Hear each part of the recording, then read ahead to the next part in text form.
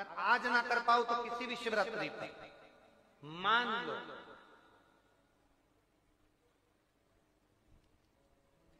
तुम किसी कार्य के लिए जा रहे हो और वो कार्य नहीं हो रहा।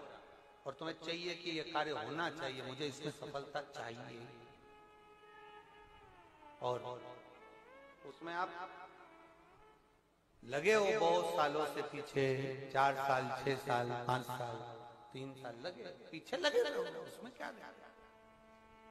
किसी भी शिवरात्रि पर आशुतोष भगवान का स्मरण कर कर जो मध्य वाली पत्ती होती है, इस पे चंदन, लाल वाला, चंदन लगाकर, एक श्वेत पुष्प, सफ़ेद पुष्प, कोई सा भी ले सकते आप उसको रख कर, आशुतोष भगवान का स्मरण कर कर, केवल आशुतोष भगवान का स्मरण कर कर, नंदी का जो पाँव होता है, नंदी नंदी का जो एक पाँव उठा हुआ होता है, उसी क्योंकि नंदी को नंदी मत समझना, नंदीश्वर का मतलब ही शंकर है और शंकर का मतलब ही नंदीश्वर। इन दोनों में कोई भेद नहीं है।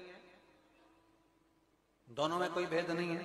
दोनों एक ही मान नंदी का जो पाँव ऊँचा होता है, आशुतोष भगवान का नाम लेकर नंदी के पैर की ओर, ये बेलपत्री का जो डंडी वाला भाग है, वो इस भाग को फूल के साथ अपने को रख देना किसी भी शिवरात्रि।